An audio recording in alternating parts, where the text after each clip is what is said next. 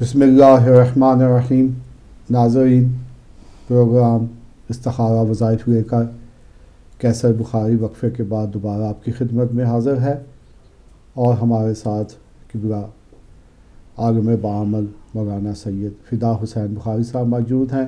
آپ کے سوالوں کے جواب دینے کے لیے استخارہ بھی دیکھتے ہیں اور اس کے علاوہ وظیفہ بھی بتاتے ہیں کہ اگر آپ کو کوئی مالی مشکلات ہیں یا خاندانی یا کسی قسم کی بھی، تو اس کے مطابق وظیفہ بتایا جاتا ہے۔ تو جیسے کہ پروگرام کے آغاز میں بتایا گیا تھا کہ آج کل جو ایام ہیں، یہ بی بی زینب سلام اللہ علیہ کی ولادت کے ایام ہیں۔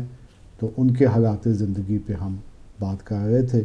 تو دوبارہ میں قبلہ صاحب کو زحمت دوں گا کہ اسی موضوع پہ ہم جی بخاری صاحب جس مطلب طرف آپ نے اشارہ جی کیا تھا۔ اتنا حوصلہ اتنے جی استقامت عزم اور حوصلہ جی بی بی کا۔ اتنے مصائب اور دیکھنے کے باوجود۔ جی۔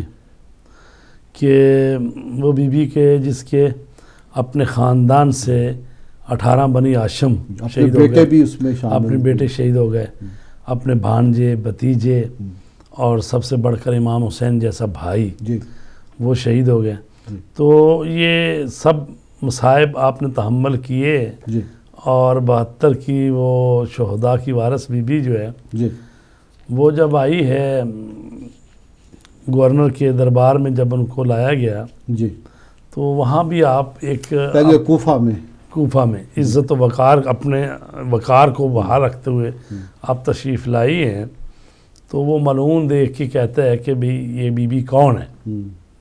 تو اس تعارف کروایا گیا کہ یہ امام علی کی بیٹی زینب ہے۔ تو اب جب اس کو پتہ چلا یہ زینب ہے تو اب وہ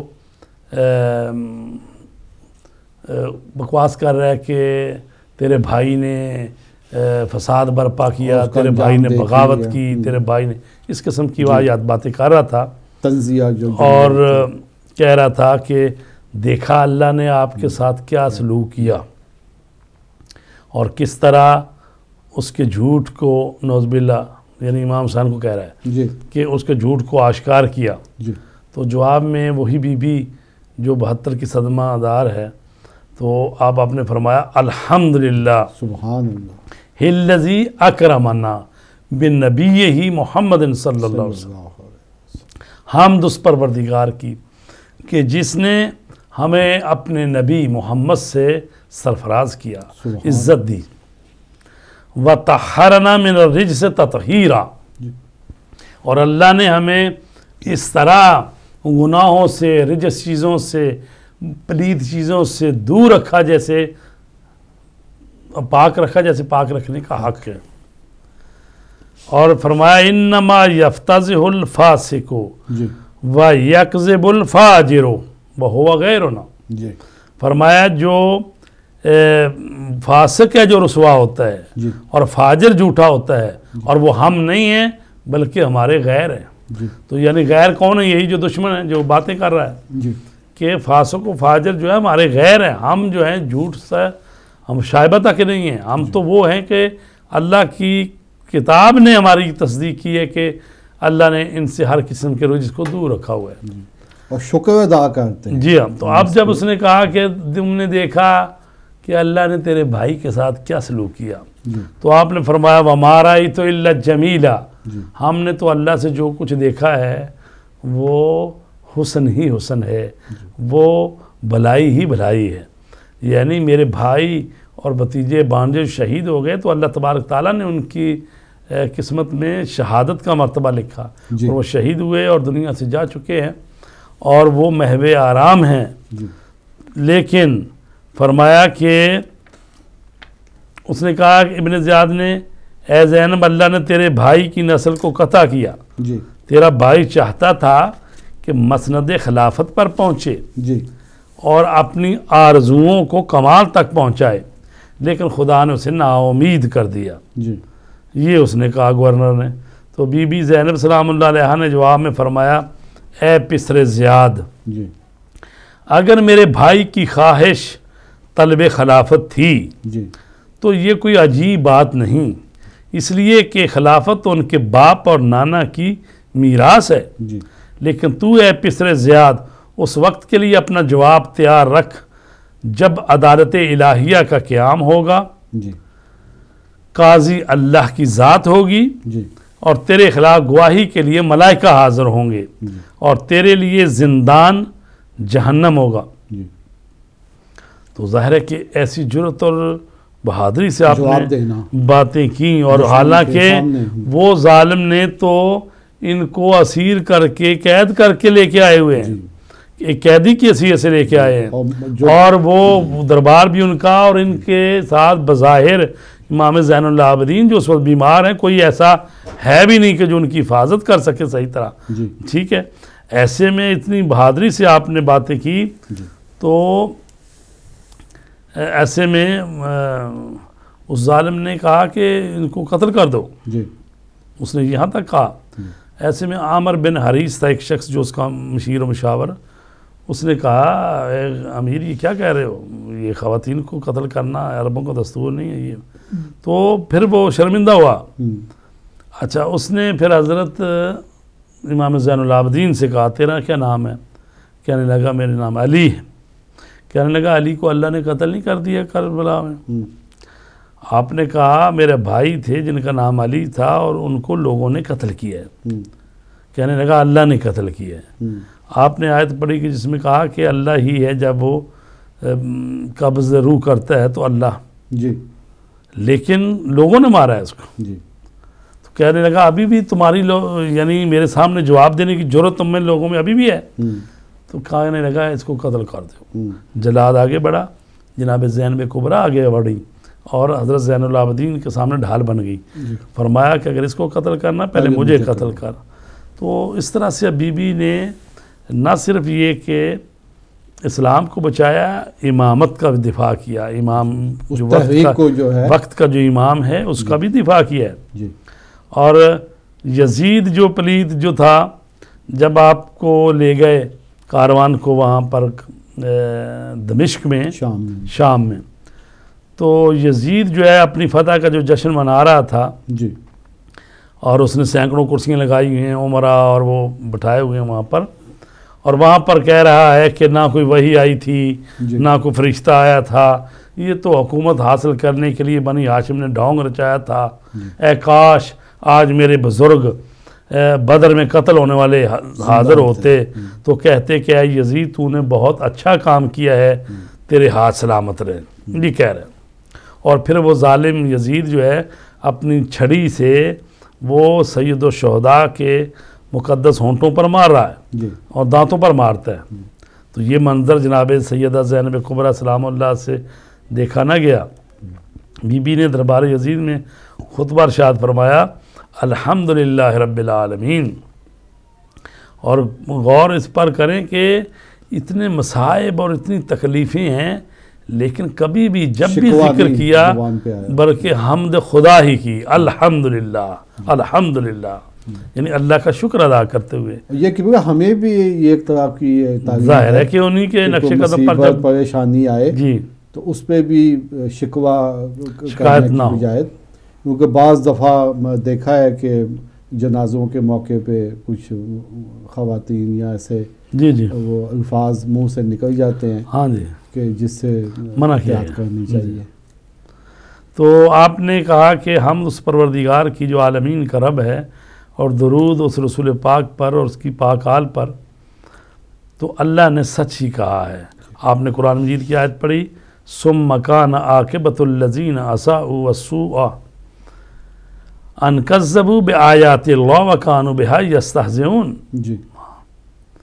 اللہ نے درست فرمایا ہے سورہ روم میں. جی. برے کاموں کا انجام دینے والوں کا انجام یہ ہوا کہ انہوں نے اللہ کی آیات کو جھٹلایا اور ان سے تمسخر کیا. جی. اور فرمایا یزید تو کہ یہ گمان کرتا ہے کہ تو نے زمین کو ہم پر تنگ کر کے جی. تو تم خوش ہو رہے ہو کہ زمین و آسمان کے راستے تنگ کر کے ہم پر اور ہمیں اسیر کر کے قتل کر کے اور تو باعزت ہو گیا ہے جی۔ اور ہم رسوا ہو گئے۔ اس لیے بڑے تکبر سے خوش ہو رہے ہو اور سمجھ رہے ہو کہ ہر چیز تیرے لیے بالکل ٹھیک ٹھاک ہو گئی ہے۔ جی۔ ٹھہرو ذرا ٹھہرو۔ شاید تو نے اللہ کا ارشاد بلا دیا ہے جس میں اللہ نے فرمایا ہے کہ لا یحسبن الذین کفروا وہ گمان نہ کریں کہ جنہوں نے کفر اختیار کیا جی۔ انما نملی لہم خیر لانفسہم کہ ہم نے جو انہیں مہلت دی ہے وہ ان کے لیے بہتر ہے۔ جی۔ بلکہ انما نملی لہم جی۔ لیزدادو اسمن بلکہ ہم نے مہلت ان کو اس لیے دی ہے کہ وہ زیادہ سے زیادہ گناہ کر لیں۔ وَلَهُمْ عذاب تاکہ اور ان کے لیے بڑا دردناک جو عذاب ان کے لیے آپ بی بی نے فرمایا کہ امن العدل. جی. یبن الطلقاء. جی. کیا یہ تیرا عدل ہے؟ اے ہمارے آزاد کردہ کی اولاد. جی. کہ تیری عورتیں تیری کنیزیں تو گھروں میں پردے میں بیٹھے ہیں. جی. اور آل رسول کو تو اس طرح سے اسیر کر کے بے پردہ شہر بشہر اور درباروں میں پھیرائے جی. تو اب یہاں پر جو لفظ ہے شجاعت اور بہادری کا جی۔ وہ یہ ہے کہ جو وقت کا بادشاہ ہے جو خلیفہ بنا ہوا اس کے مسلمانوں کا۔ سامنے بولنا اور اس کے سامنے اور اس نے اپنی فتح کا جشن منانے کے لیے یہ سارا انتظام کیا ہوا ہے۔ جی۔ اور سات سو کرسی لگائی ہوئی ہے عمرہ اور باہر کے سفیر بٹھائے ہوئے ہیں روم کا سفیر بیٹھا ہوا۔ جی۔ اور وہ چاہ رہا ہے کہ بھی میں اس طرح سے اس خاندان کو کر دوں۔ ذہنی طور پر بھی ٹارچر کر دوں کہ آئندہ پھر کوئی جرت بھی نہ کرے کہ کوئی میری حکومت کے خلاف اٹھ سکے جی۔ کہ جب اس نے رسول پاک کے خاندان کو ایسے کر دیا تو باقی تو باقی کون کس کی ضرورت ہے؟ تو بی بی سلام اللہ علیہ نے اس وقت اس کو کہا یبنت طلقا طلقا کا معنی ہوتا ہے جو آزاد کیا گیا۔ جب رسول پاک صلی اللہ علیہ وآلہ وسلم نے فتح مکہ کیا جی۔ تو ظاہر جب فتح مکہ کر لیا تو اب تو آپ کو اختیار تھا چاہتے تو کنیزیں بنا لیتے ان کی خواتین کو مردوں کو غلام بنا لیتے یا ان قتل کو کر قتل کر دیتے۔ جی۔ قتل کر دیتے۔ حتیٰ کہ آپ نے انہی کے فیملی پر اتنا احسان کیا کہ اس کا دادا تھا ابو سفیان۔ جی۔ جس کو کہا تجھے بھی معاف کیا جاتا ہے تیرے گھر میں جو کوئی آ جائے اس کو بھی امن ہے اس کو بھی معافی ہے۔ جی۔ ٹھیک ہے؟ جو خانہ کعبہ میں آ جائے یا اپنے گھروں کے دروازے بند کر لے سب کو امان دے۔ حالانکہ اس نے بہت زیادہ اذیتیں پہنچائی ابو سفیان نے۔ تو جب لوگوں نے کہا کہ آپ ہمارے ساتھ کیا سلوک کریں گے تو آپ نے وہی بات کی جو حضرت یوسف علیہ السلام نے اپنے بھائیوں کے لیے کہا تھا۔ جی۔ لا تصریب علیکم اليوم آج تم پر کچھ بات نہیں ہے میں نے معاف کیا۔ جی۔ تو رسول پاک نے ان کو آزاد کر دیا کہ انتم الطلقاء تم سب آزاد ہو۔ جی۔ تو ظاہر آزاد وہی ہوتا ہے بھئی یعنی اگر چاہتے تو غلام بنا لیتے۔ جی۔ تو تم ان اس سے آزاد کر دیا آپ کو۔ تو آپ نے ایک فرما احسان کیا ہے۔ ہاں جی بہت بڑا احسان کیا یعنی مارد یعنی موت سے معافی دے دی۔ جی۔ اس کو معافی دی بلکہ پھر اس کے بعد اس کا بیٹا معاویہ بھی تھا وہاں پر۔ معاویہ بھی بیچ میں ہی طلقاء میں ہے۔ جی۔ بلکہ ان کو حصہ ملا ہے طلقاء کا۔ جی۔ تو بی بی نے کہا کہ اے ہمارے نانا کے آزاد کردہ غلام کی اولاد جی۔ اب تو بیٹھا ہے تخت پہ اور ہماری وجہ سے ہمارے خان خاندان اور رسول پاک کی وجہ سے اس تخت پہ بیٹھے ہو اور انہی کی بہو بیٹیوں کو اس طرح اسیر کر کے لے کے آئے ہو اور یہ- یہاں یہ کہہ رہے ہو کہ کوئی وہی نہیں آئی تھی اور کچھ نہیں ہوا تھا۔ تو اس لیے آپ نے فرمایا کہ اللہ کی لاٹھی جو ہے بے آواز ہے۔ اور یہ جو تو کہہ رہا ہے کہ تجھے مہلت مل گئی ہے یہ مہلت اس لیے ملی ہے کہ جی بھر کے گناہ کر لے تاکہ قیامت کے دن پھر تجھے دردناک عذاب کا سامنا ہوگا۔ کیونکہ یہ بی بی کی تو میں طلقاء سے ایک میرے ذہن میں بات آئی جی، تھی جی۔ کہ طلقاء جو ہے نا جب۔ جنگ ہنین ہوئی ہے نا تو اس میں جو مال و غنیمت ملا ہے نا جی۔ تو اگر مثلا انصاریوں کو اور مدینے کے لوگوں کو دس دس اونٹ ملے نا تو اس ابو سفیان کو سو اونٹ اللہ نے دے رسول پاک نے دیا۔ وہ ہوتا ہے نا کہ جو مال غنیمت میں زکوٰۃ وغیرہ میں سے جو- ضعیف ایمان والے ہیں یا ان کو دے دو تاکہ وہ اب پھرے نہ۔ جی۔ ٹھیک ہے۔ تو اس کو سو اونٹ ملا۔ اس نے کہا کہ یا رسول اللہ ابو سفیان نے کہ میرا بیٹا معاویہ بھی ساتھ ہی ہے اس کو بھی دے۔ تو لہٰذا سو اونٹ اس کو مل گیا۔ جی۔ تو یہ طلقاء تھے۔ ایسے میں بعض جو مدینے کے لوگ تھے نا انہوں نے کہا جی یہ عجیب بات ہے جی۔ یہ لوگ کل آئے ہیں تو بھئی ان کو زیادہ, مل گیا۔ ایسے میں ان کا شاعر تھا ایک اس نے کوئی شعر کہے کہ جس سے بھی ہمیں کم ملا ان کو زیادہ ملا۔ تو رسول پاک کو پتہ چلا رسول پاک نے فرمایا علی اس کی زبان کو قطع کر دو۔ جی۔ حضرت علی تلوار تو ان کے ہاتھ میں تھی انہوں نے کہا "آؤ بھائی میرے ساتھ چلو۔ وہ ڈر گیا۔ اس نے سمجھا شاید میری زبان کو کاٹنے لگے۔ آپ نے فرمایا کہ بھی یہ اونٹ مالک نعمت کے ہیں تم بھی سو اونٹ پورا کر لو اپنا۔ تو اس نے کہا یہ بات تھی۔ میں تو سمجھا تھا کہ میری زبان کو قطع کر لیں نہیں انہوں نے کہا زبان کو قطع کر دو یار یہ جو بہت باتیں کر رہا ہے اس کے منہ بند کرو۔ اس کو بھی سو اونٹ دے دو۔ امام علی نے فرمایا لیکن یاد رکھو کہ تیرا نام ہی پھر تلقاء میں آ جائے گا۔ اسی لسٹ میں۔ کہ یعنی یہ مہاجر انصار جو ہیں ان کو تو فرض کرو دس دس بیس بیس جتنا بھی حصہ ملا یہ تلقاء کو زیادہ دیا جا رہا ہے۔ تو کیا تو قبول کرتے ہو کہ تم تلقاء میں جانا چاہتے ہو؟ اس نے کہا نہیں میں تلقاء میں نہیں میں جاتا ادھر ہی صحیح ہوں۔ میں ادھر ہی ٹھیک ہوں۔ تو لہٰذا یہ تھے تلقاء۔ اور انہوں نے باقاعدہ اسے لیے۔ تو بہرحال یہ اسلام کے لیے بھی بڑی مصیبت ہی تھی جی۔ کہ رسول پاک نے ان کو معاف کیا جی۔ لیکن انہوں نے معاف نہیں کیا اسلام کو۔ بالکل۔ بلکہ جب حضرت علی علیہ السلام کو حکومت نہیں ملی اور ابو بکر خلیفہ ہو گئے تو اس وقت ابو سفیان آیا۔ جی۔ اور ابو سفیان جو تھا یہ اس وقت جب رسول پاک کی وفات ہوئی ہے تو یہ اس وقت مدینے میں نہیں تھا۔ جی۔ یہ گیا ہوا تھا زکوٰۃ کٹھی کرنے کے لیے۔ اس کو بھیجا تھا۔ کچھ گاؤں پنڈوں سے جاؤ جا کے زکوٰۃ کٹھی کر کے لاؤ۔ عام علی نے زکوٰۃ میں تھا یہ۔ جی۔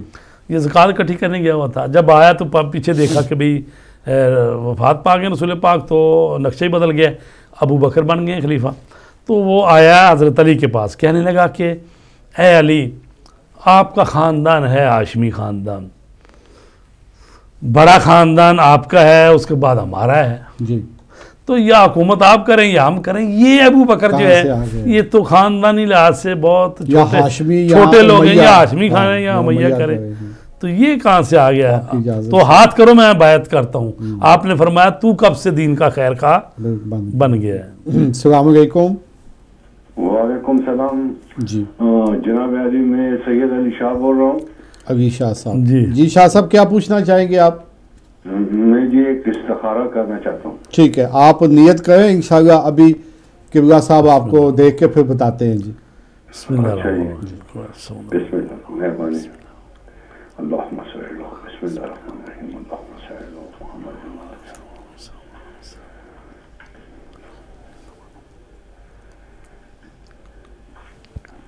جی نیت کر لیا. ٹھیک ہے۔ جی اچھا ہے۔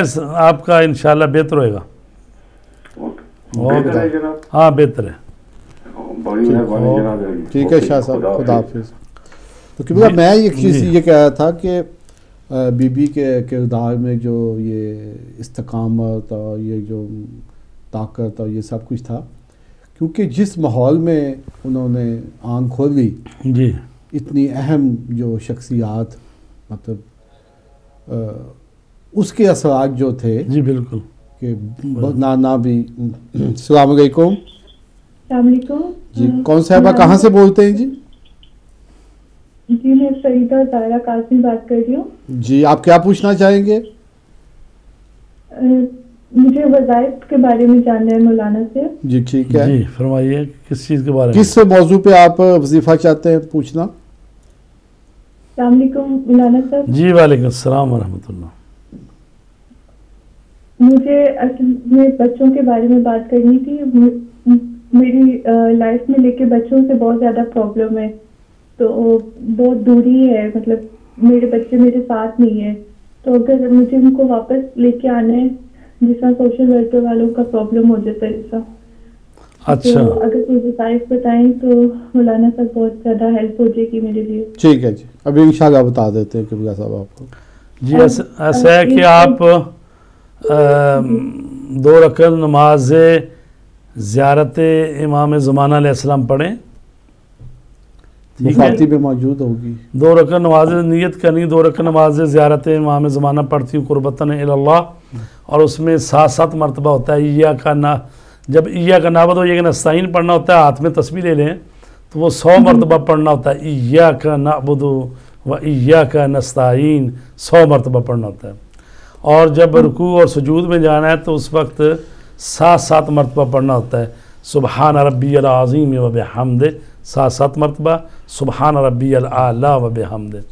اس کے بعد مفاتی میں ہے استغاثہ امام زمانہ۔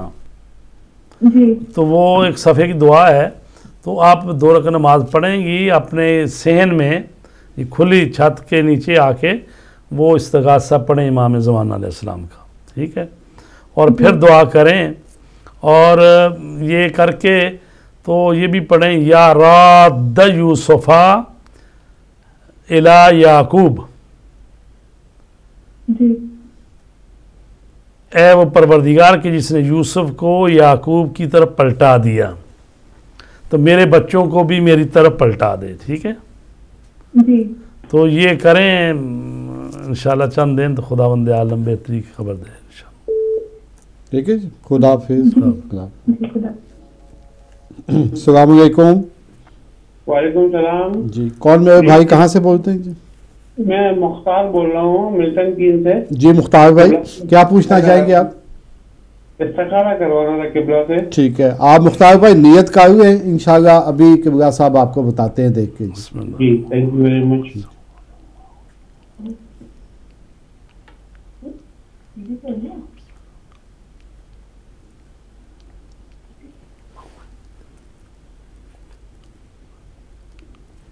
جی نیت کر لی میں نے قبلہ جی اچھا ہے استخارہ جو آپ سوچ رہے ہیں اس پر عمل کریں انشاءاللہ بہتر ہوئے گا۔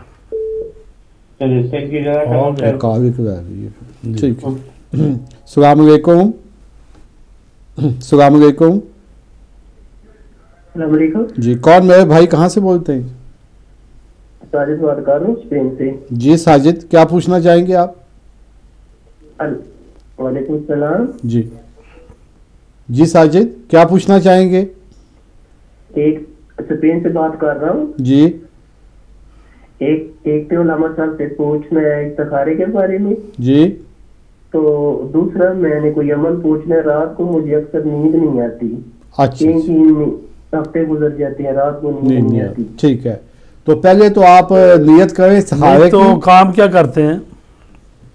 کام کرتا ہوں دکان پہ اپنی پہ جی؟ دکان پہ کام کرتے اپنی ہیں اپنی دکان ہے۔ پہ۔ اچھا تو اکیلے ہی ہیں یہاں پر؟ پاکستان سے آئے کب اتنا عرصہ ہو گیا؟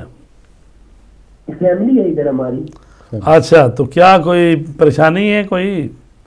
نہیں کسی قسم کی کوئی پریشانی بھی نہیں ہے۔ دکان میں ماشاء اللہ کسی قسم اچھا تو پھر آپ ڈاکٹر سے مشورہ لینا تھا کہ کیا مسئلہ ہے؟ ڈاکٹر نے سی ٹی اسکین کیا کہتا کوئی مسئلہ نہیں ہے۔ اس نے نیند والی گولیاں دی ہیں میں وہ کھاتے ہی نہیں۔ نہیں تو کھاؤ نا اس نیند والی گولی کو اتنے دن کھاتے ہیں۔ بعض دفعہ ہوتا ہے انسان ڈسٹرب ہو گیا ہے نا تو اس کو دو چار دن ہفتے کے لیے استعمال کرنا چاہیے تاکہ وہ نیند کی ایک وہ روانی ہو جائے۔ پھر آپ چھوڑ دیں اس کا مسئلہ نہیں اس کو ایسا ہے نا جو کر لیں۔ مطلب ہے پہلے ہلکی سی ڈوز دیتے ہیں وہ۔ تو آپ ایسا کریں کہ جب جاتے ہیں بیڈ پہ تو باوضو ہو جائیں پہلے وضو کر کے سویا کریں اور سورہ الحمد پڑھیں چاروں کل پڑھیں اور وہ پڑھیں آیت الکرسی۔ مجھے کہا تھا کہ ابھی میں نے نا تصویر چھوڑی ہے سو دفعہ میں نے نا سورت الحمد پڑھی ہے۔ اچھا۔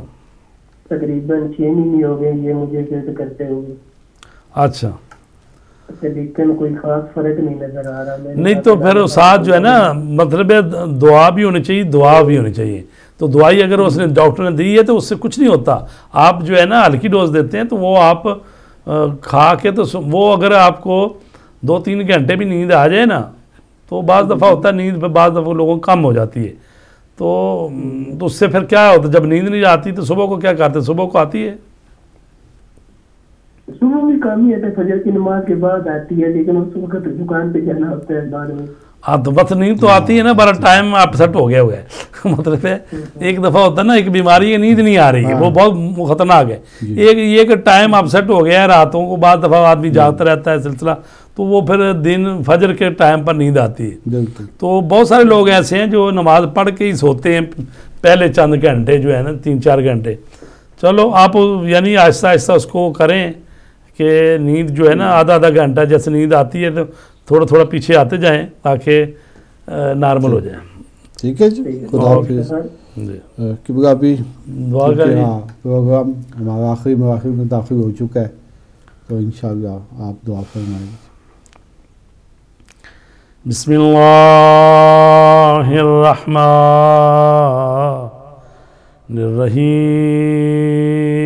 الرحيم إلهي قلبي محجوب ونفسي معيوب وعقلي مغلوب وهواي غالب وطاعتي قليل ومعصيتي كثير ولساني مكرا بالذنوب فكيف هيلتي يا ستار العيوب ويا علام الغيوب ويا كاشف الكروب اغفر ذنوبي كلها بحرمة محمد و وآل محمد يا غفار يا غفار يا غفار برحمتك يا أرحم الراحمين اللهم صل على محمد وعلى محمد۔ ناظرین، ہدایت ٹی وی کی طرف سے ہم قبلہ بخاری صاحب کے بہت شکر گزار ہیں کہ وہ اپنے قیمتی ٹائم میں سے یہاں پہ تشریف لاتے ہیں۔